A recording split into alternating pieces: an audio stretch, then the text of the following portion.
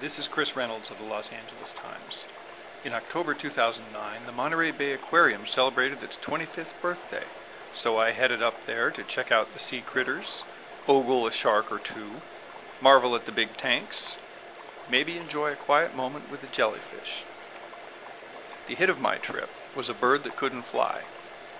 But first, let me reveal a key secret of aquarium management.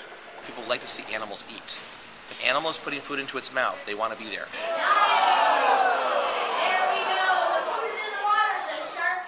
Now, let's get back to the bird. Her name is Makana. She's a Laysan albatross from Hawaii. If one wing weren't injured, she'd be able to fly as many as 500 miles in a day. When she's really interested in you, she rattles her beak.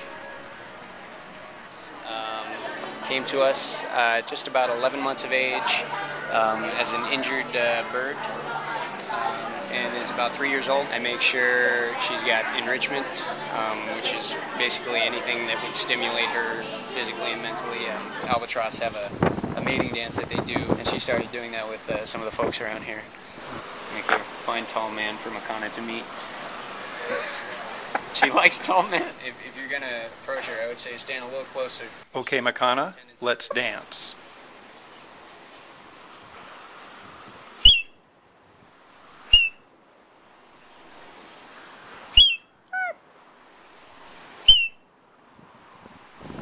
Yeah, me too.